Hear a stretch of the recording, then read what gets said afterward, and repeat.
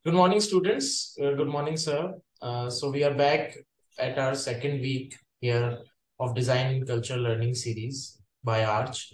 Uh, the aim of it is to spread deeper sensitivity and understanding of design culture among inspiring students and eager learners. So today we have with us uh, Mr. Madan Meena, sir. Um, so I would like to uh, give a brief background of his rich experience. So he's a practicing visual artist and a researcher working extensively with the rural, nomadic, and tribal communities. His personal association with his region and its people led him to choose as his doctoral thesis Art of Mina Tribe. Focusing on the women of the Mina tribe, he has documented and exhibited their art of wall painting across the country and abroad. His work on the subject is available in his two published books, joy of creativity, and nurturing walls. Sir's curiosity about languages led him to start work on the secret language of denotified of the denotified and the nomadic tribes. For this, he received a fellowship from the Firebird Foundation for Anthropological Research, USA. He continuously studies languishing craft traditions the subject which he also teaches as a visiting faculty at some of the design institute in India. He is a trustee of Bhasha Research at Public and Publication Center Vadodara, executive member of Kota Heritage Society, and executive board member of Gramin Shiksha Kendra Savai Madhopur. One of his uh, important responsibility currently is with the Adivasi Academy in Gujarat, where he has been the honorary honorary director for the last four years.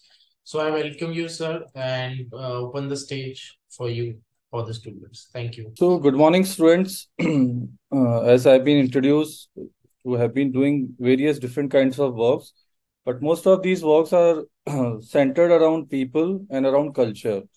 And primarily Rajasthan, though I have my work of area in Gujarat and Madhya Pradesh also, and some of the tribal communities in other parts of India. Uh, but yeah, major focus has been always Rajasthan, which I find very important from every perspective. So this session, which is particularly related to, as I have sent a little brief about it, this is about sustainability. And when we talk of sustainability, then three criteria become important. That is roti, kapda, makan. That is that is a, our basic need that is required for us sustainability. That is how we sustain over the generations we have sustained throughout the ages actually uh, based on these three things which are very important part of our life. But i'm going to talk about the diversity that has that has given rise to sustainability uh, and that that is what we define as a culture. Because culture just doesn't mean few practices but it's a big ecosystem and that ecosystem need to be understood that ecosystem could be uh, macroscopic means larger ecosystem where you you can imagine rajasthan. It could be very microscopic. Microscopic in the region uh, where your institute is right now situated it is in a region which is ethno-geographically it is called dhundad so uh, now that dhundad will have a particular kind of a cultural ecosystem. So that also need to be understood. It's just not that rajasthan when the word comes like rajasthan so people think that rajasthan is a desert or or it's a it's a state of forts and palaces that is not really rajasthan mean actually. Rajasthan has a big diversity which is there in your roti kapda makan whatever when we define all these things it is there that that exists till date also. That is how uh, i'll take this session. So uh, if you have any questions you'll you'll be free to ask those questions at the end of the session but what i'll be sharing over here is all my research. It is not coming from any uh, any any kind of books. It's not coming from secondary research. It is purely what i have researched in my life. So that is what i'm going to share over here. So uh, as sir has said that i right now i work with bhasha research and publication center. This is one of the organization that works with the languages. It is about sustainability mapping of the languages survival of the languages and propagation of the languages and majorly, we work with the tribal languages because if you believe, 90% of India's languages are spoken by the tribal communities, which are only 10% of total India's population. I am repeating it again. 90% Indian languages are spoken by the tribal communities, which form less than 10% of India's population. while the other rest of the population is speaking only 10% languages. So you can understand that the that the diversity of languages lies with the communities who are who are tribals, who are agriculturists, or communities who are like pastoralists, or the communities who are like musicians. Those people have survived the languages. So my organization has done a big project called People's Linguistic Survey of India, which has mapped 800 uh, around 800 languages across India. So you can understand that 800 languages still are still spoken in India by the communities. Okay. So I'm going to talk about these diversities, then the cultural diversities, then the visual diversities, and the diversities even related to the material culture like textile. So just going to share my slide and this presentation will be around 30 to 40 minutes. So just bear with me. Talking about this mapping sustainability. Okay. So what you see just by looking at this one particular slide, these photographs are quite old, uh, taken in 1917 and 80s by a lady called Elizabeth Simpson, who just came to Rajasthan only for one purpose, that she was so much fascinated by the turbans that, that people in Rajasthan wear. And she saw these turbans, she saw these people, uh, mainly the musician communities like the Langa, Manganiyar and Kalbeliyas, who were visiting abroad during the India festivals which happened in the 70s and 80s. So uh, she saw those performances in England, and then she just decided to come back to India and document these these turbans in Rajasthan because she met these people from Rajasthan. So she was so fascinated that she just drove from England. She came by car and straight away to a place called Borunda, which is like 90 kilometers from Jodhpur. And then there, a great cultural historian, or I should say a cultural scholar called late Komal Kothari, he founded this organization called Rupayan Sansthan. So she had met Komalda. We lovely we called Komal Kothari as Komalda. So she met Komalda in in uh, in England, and that time she requested him that I would like to come and document the turbans. So she came and she started documenting these things, and over the thirty years she continued coming to India, and she has documented uh, hundreds and hundreds of turbans in Rajasthan and in Gujarat. But now the purpose of this picture over here, this slide over here is that every turban represents an ethnic culture. It represents an ethnic community. It represents an ethnic profession of the particular community. Malab, one one image itself is a big identity of that of that particular community of that per, or that person. For example, there are few turbans which are worn by the pastoralist community. So when we talk of the pastoral community, it is mainly the Rebaris or the Rabaris or the Raikas, what we call in Rajasthan, or maybe the Jats also. They are also pastoralist community, or another community called Gairi community, which is the, again a pastoralist community, or the Gujars also. So particular turban will identify a particular ethnicity of a particular person, or and it will also identify that from which region the person is, because it's not that the one kind of a turban could be worn around across the uh, different states. Maybe if the person is a nomadic person, then definitely you can find find the same turban Bombay or you can find the same turban Delhi also if the person is traveling to that area. But if the person is stationed regionally, then definitely that signifies that this person is from this particular ethnic background. Ethnic background means the community, and it means the particular caste of that community and the particular profession of that community. So our cultures has been so visually significant, significant.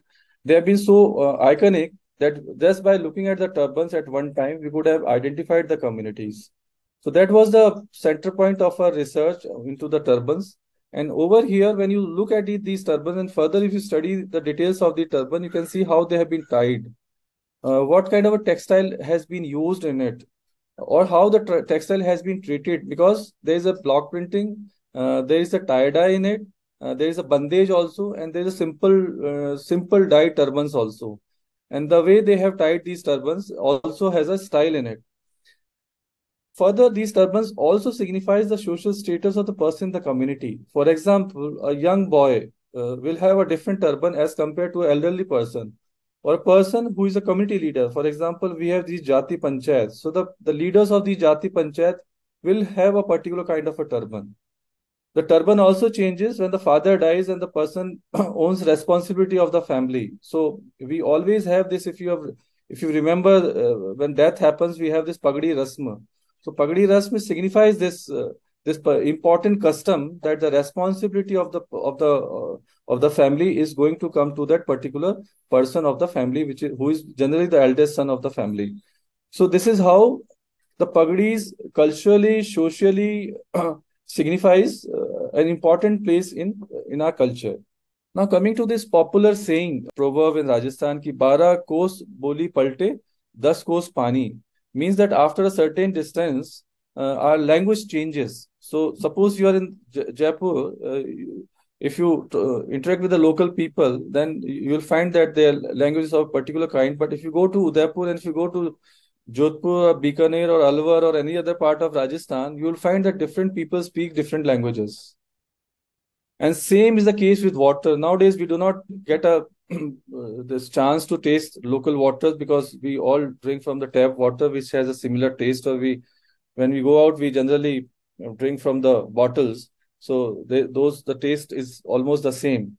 But earlier, this this proverb has been so popular because of the reason that after almost uh, 12 kos which one kos makes to 2.5 and that that uh, that makes bara kos after 25 kilometers the language used to change and likewise the taste of water also used to change after das kos which which means uh, after 25 uh, das kos uh, 25 kilometers and bara kos means 12 to 24 that is 30 30 kilometers so 30 and 25 kilometers that was a relationship between the taste of a water and, and, and the language or a dialect of that particular place. So now if we really see the samples of the languages, I'm just going to play you few samples of the languages to just understand the diversity of language that exists in Rajasthan. So I have researched on a, one of the oral ballad which is sung across Rajasthan uh, from west to east, means from Nagaur to, to Haduti, Haduti which is east of Rajasthan, like Kota Bundi. So this particular ballad is sung in memory of a snake deity who, who is called Tejaji. He was born in Kharnal near Nagaur and he was married at Pushkar. Pushkar, I hope every one of you know. And then he was bitten at a Sursura, which is near Kishangarh in Ajmer district.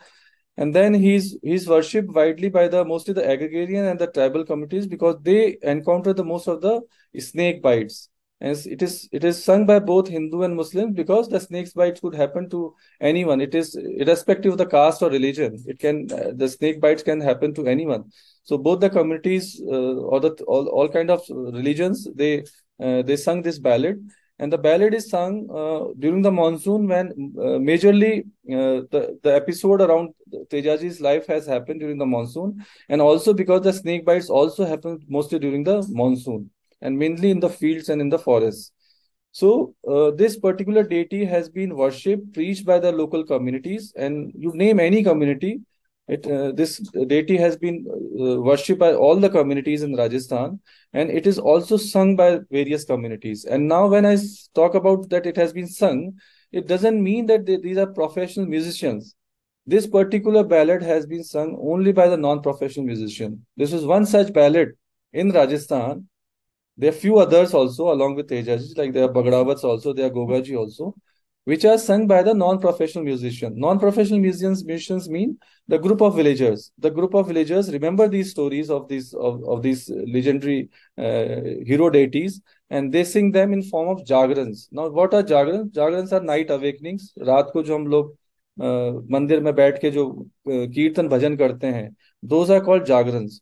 So this particular ballad is also sung at night in the Jagrans at the shrines of Tejaji. Now, Tejaji shrines are open shrines. They are simple platforms. They are under the trees or they are in the open simply. A one stone could be just erected and that could just become a Tejaji shrine. They are not like uh, our classical Hindu temples like Shikhar Numa uh, temple. They are not Shikhar, Shikhar uh, temple architecture uh, shrine. These are simple, open, open, simple stage shrines that you that we see across Rajasthan. So now suppose I play one audio sample uh, from a place called Kharnal where Tejaji was born. So you can you can listen to the language and you can listen to the style of singing also, and then I'll then I'll play other places uh, which are related to Tejaji or which are related to the geographic uh, geographical diversity of the languages in Rajasthan. So first is this Kharnal. So listen carefully and try to understand the language. If you are from this these regions, you will be able to capture the language.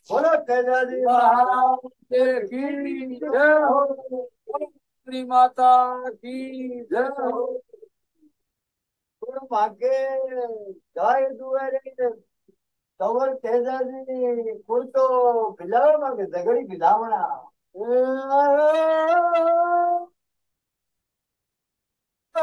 कुर्तो मांगे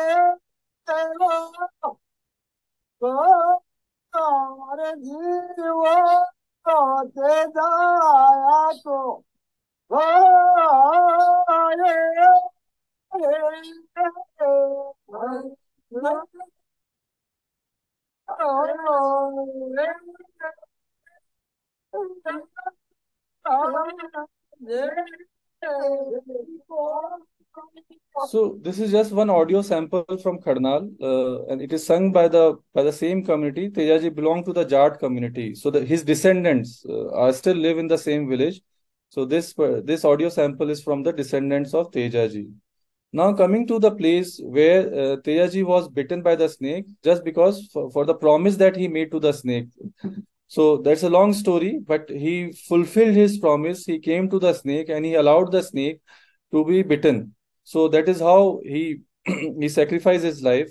So this is a place Sursura, and over here you'll see that there's a use of certain musical instrument. There it was only ghungru tied to the feet, but here some a set of musical instruments are also used, and the language differs now because that was uh, almost Marwadi, and this particular language over here is is uh, near to Merwadi because it is near to Ajmer. Um,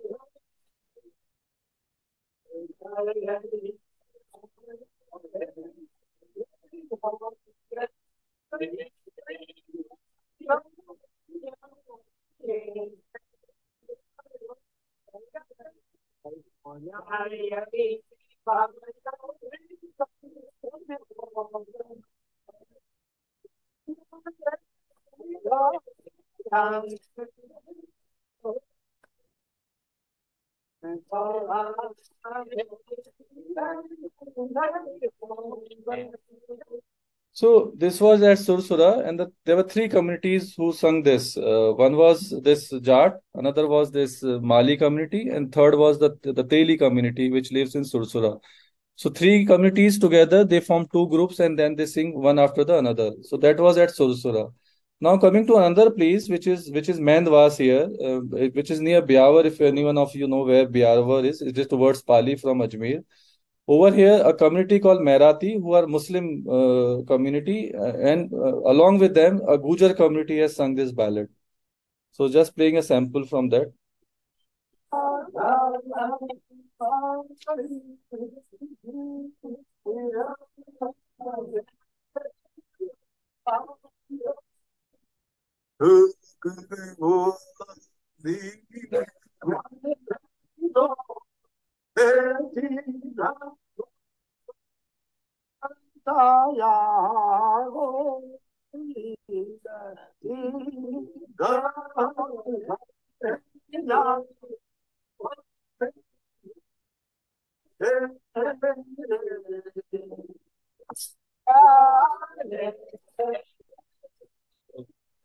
So this was from Mendwas, uh, from this uh, where these Muslims and the Hindus both sing it together. Now coming to this place which is near Jaipur, uh, near Chandwaji, when you go towards Delhi, Chandwaji, and from Chandwaji, little far is this place called Jaichandpura. The community over here are the the Brahmins and the Meena, uh, which sing it together over here. So just to see a sample of this.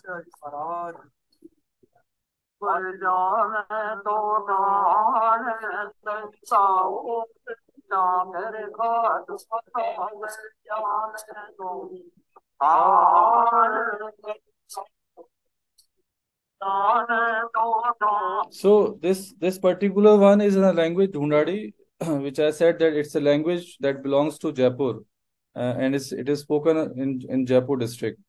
Now coming to further uh, further towards east towards Madhya Pradesh, this is this is a sample from a village near Bundi, uh, Thikarda. So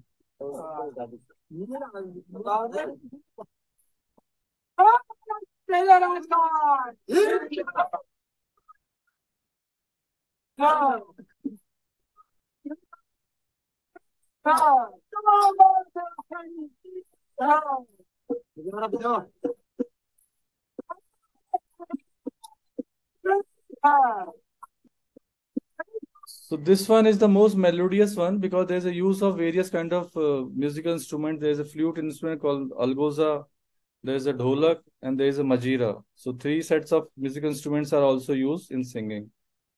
So this was another sample. So like this, I just played uh, selected samples. Um, sir, uh, I just want to make a request. Like, if you can share this, uh, if you can share this presentation with us, because I guess uh, because of certain reason we are not able to clearly hear all the audios. We got some idea, but it's not clear. So it would be really helpful if you can share the presentation with us. So that is over. Uh, that part is over. So I'm just coming to this this slide, uh, which says that which has mapped the languages through this oral ballad. Uh, the language has been mapped through this oral tradition that exists in Rajasthan. So, so this is spoken in various languages, sung in various languages. Like in one like Saharia language, Marwadi, Dhundadi, Taleti, Haduti, Merwadi, Khadi Marwadi, Nagar Chali. The purpose of this is this that Rajasthan itself represent at, at least there are 30 surviving languages which are spoken uh, till date. So this, which starting from Kharnal, if we map towards Madhya Pradesh, so these are seven, eight languages into which this particular ballad is sung. So that was the purpose to just explain you that how different oral traditions has been preserved in, in local languages. Now coming to this particular, which would which I would like to skip because of a uh, less time. Uh, over here, I was talking to you that on macroscopic and microscopic also. So this has been a case study of a small region within the Bardmer district. It is not across Rajasthan. It is just within a small district of Rajasthan called Bardmer. And over there in three places, I have found that one particular uh, story, which is like Umar Marvi or another kind of folk song called Kurja, they have been sung in different languages. So various languages can exist in a micro, in a small region also. That is also a case. Now coming to the material culture, suppose uh, let us understand that through this textile. So if we see these two images, uh, we can identify the community. That what community is this? Because as I said that earlier, I showed you those photographs of turbans. Similarly, over here also, if you look at this textile and textile, when you look at textile, I mean the the kind of skirt the woman is wearing, the kind of uh, angarki or the blouse or the shirt that she is wearing, and the odni that she is she is wearing, and even the jewelry also. Just by looking at that, you can identify identify the community, and you can identify the region also from which region it belongs. She, the the woman or the community belongs to. So, for example, in the left image, you can see these two women standing is standing with children. So, in the left hand side, uh, in the in the left hand side image, on the left left hand side woman with a with a black uh, angarki that she is wearing, she is wearing a particular kind of a of a print in a skirt which is called makoda print. Now, this makoda print is worn only by the young women who are either newly married or who has been married but they have not gone to their in-laws. Like we we have this custom of ki gona jiska gona na kiya ho.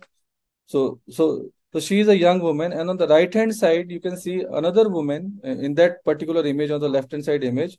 She is wearing a particular print called katar now katar is generally worn by the women uh, who have children after marriage so that represent the two different social status of these women.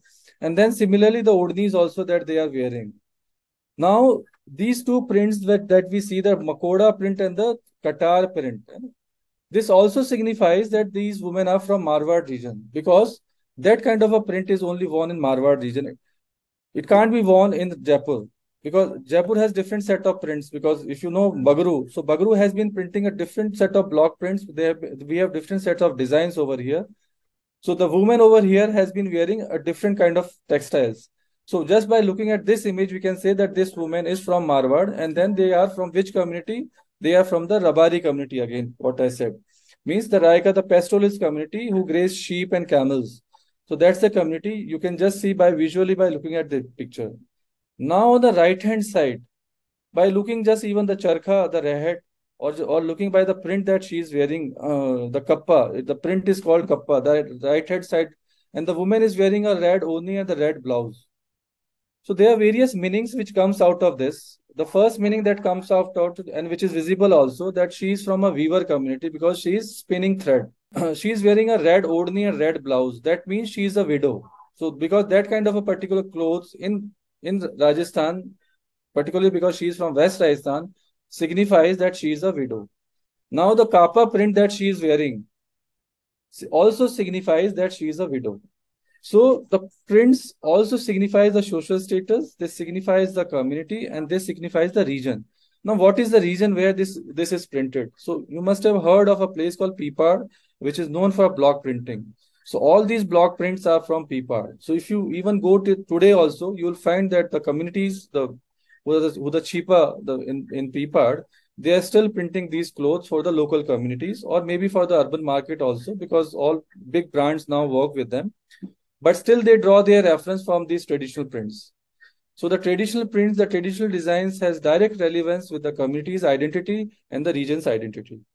Kapada now we talk of food now so similarly we have a great diversity of food in rajasthan so if we look at Rajasthan geographically, uh, looking to the climatic conditions, looking to the ecological conditions, and looking to the geographical conditions, we'll see that one part, which is almost three fourth, is a desert.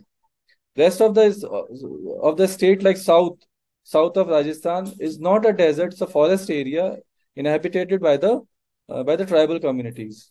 Then the eastern part adjoining to MP and the northern part is a different kind of a terrain, which is a Aravalli region, which is uh, the whole Aravalli range passes through this region. It's a forest region again, which has rivers also. So these three different regions grow three different kind of staple foods. So suppose West Rajasthan, which is a desert, grows bajra. So majorly the the food that they eat is millet. It, it consists of millets. Then the South Rajasthan, which is a tribal region, is a makka. It's it's a corn region. So people over there eat corn. And then the region starting from Jaipur to north of Rajasthan, like Alwar, coming to Savai Madhopur, Karoli, it's a sorghum, it's a Jawar region. The area in this region has been eating Jawar. It is very lately then when we have these agriculture facilities, when this canals has come from Indira Gandhi Canal and Narmada Canal has all come in. Now this food pattern is changing now. We, everyone is growing wheat now. Wheat has been introduced recently. Wheat is not very old in Rajasthan not more than 40 50 years when we started cultivating wheat nowadays we all eat wheat and and people in these regions also eat eat started eating wheat similarly the rice rice was not there in rajasthan but we eat rice because it is newly introduced and some places in rajasthan are cultivating uh, uh, rice also so through this also the purpose of telling you this food diversity is that this food diversity is directly linked to a culture. And how it is linked to the culture it linked because these are ethno-cultural zones which grows different kind of uh, which has a relationship with the with the food. Why? Because south of rajasthan which grows uh, corn is called wagad. It's a region it's a tribal region called wagad. Then it's the west rajasthan it's the marwar region which has a different culture it has a different language patterns and it have a different set of people Similarly, Jawar zone, which is Jaipur and all uh, all east of Jaipur and north of Jaipur, it grows Jawar. So it has a different culture. Culture. It has different languages. It has different communities living there. So this particular uh, slide represents a museum. Actually, uh, this slide is from a museum called Arna Jharna, the Desert Museum of Rajasthan, and over there, uh, the museum has tried to map grasses and it has tried to uh, collect brooms made with different grasses. So the purpose of the museum was to map cultures of Rajasthan through brooms. Now this is quite an amazing thing, how to connect a broom uh, with a culture. The connection is very simple. The connection is this, that particular kind of uh, uh, broom which are made are made through local grasses and these local grasses grows in particular geographic zones along with the crops that we grow over there. So for example bajra have a different set of grasses that grows in that region because of the ecological conditions also. And similarly is with the corn and sorghum that they have different set of grasses. So different kinds of brooms are made in rural areas. I'm not talking of the urban areas where we only have limited two three brooms. Like we have sika jhadu fool jhadu and now this plastic broom has also come or nariyal broom we have in cities but it is about the rural areas where we see varieties of broom because the brooms are used differently in different spaces. For example, if it is a mud plastered surface, then the grass broom is used. If it is a cattle shed, then broom maybe for little sturdy broom made out of a branch of a tree will be used. Or if it is it is a pavement, it's a road, then a different kind of brooms are are used over there. So this museum has tried to define different broom, classify different brooms from different regions of Rajasthan, all collected from these different three uh, three food zones of Rajasthan. And they talk about the philosophy, they talk about the broom makers, they talk about the casteism that exists with the communities who makes broom or the or the sweeper community which exists in Rajasthan. So that slide was from this, which talks about the food basically and culture. Now coming to the visual culture of of housing also, we uh, when we talk of uh, roti kapda makan, now there is a great diversity that has existed in, in housing also. Nowadays we have all concrete houses, similar structures, whether it is Jaipur or Jodhpur. But if you still you go in the villages, you will find a different patterns of housing over there because the houses are made from local material and the local material is majorly it is clay some places the stones are available, so you, the, the, stones are used. Even slabbing also stones are used. Floor also stone are used. But these particular pictures from come from Sawai Madhopur region, uh, which is uh, you can see in the map in east of Rajasthan, and there the houses are of mud. Though the houses are mud, but we have a culture of decorating them. Uh, uh, unlike what we do not see today that people uh, decorating their own houses that is there but we we generally hire architects we we hire interior designers to do our own houses. But here right from the construction of the house to the beauty to its beautification comes under the domain of the communities or done under the domain of the families who build the these houses but now in that also there's a big diversity. So i've tried to map this visual art means the the the, the, the art form which is practiced on these uh, walls. So it's a meena wall painting and i've tried to map them also. And in that it's not a big region. It's simply a region of three districts if i talk about sawai madhopur karauli and Tonk region. And in that too i have found a great diversity in the stylistic uh, in the style of paintings. And and i have tried to further uh, means divided into microscopic zones. So you can see that it's the Sawai Madhopur zone, there's a uh, Uniara Aligarh region, then there's a Tonk Justana region. So that like that there are some 12 to 16 regions.